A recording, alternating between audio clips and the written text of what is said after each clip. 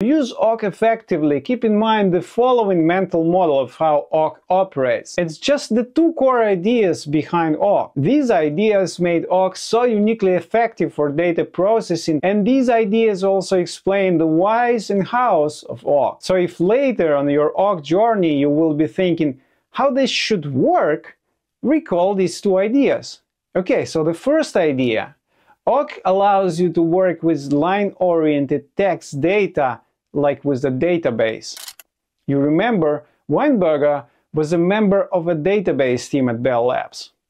And the second idea, awk works only by using a pattern action approach. Now I will unpack these ideas and this is how I will teach you awk so that you get it once and for all. Let me start with line-oriented text data.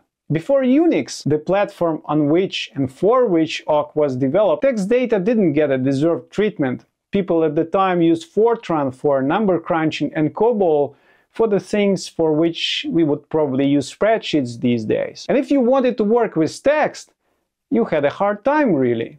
There's a legend that Unix itself was created because researchers at Bell Labs needed software to format their documentation. Whether true or not, only Unix really made text data a first-class citizen in computing. Unix is a completely different operating system. And one of the ideas that made Unix so successful was the idea of small programs each doing one thing well. These small programs had to interface with one another using plain text. By design, there were no constraints as to how text data should be represented. There was no JSON, no XML, protobuf, no data types, schemas, or anything like that. The only convention was to split text data by a new line character. And the innovation of awk was that it represented such line delimited text input as a database, which means that an awk program interacts with text data in a sort of a declarative way. If you would have to do what awk does in a language like Python, you would have to open an input file, loop through it line by line,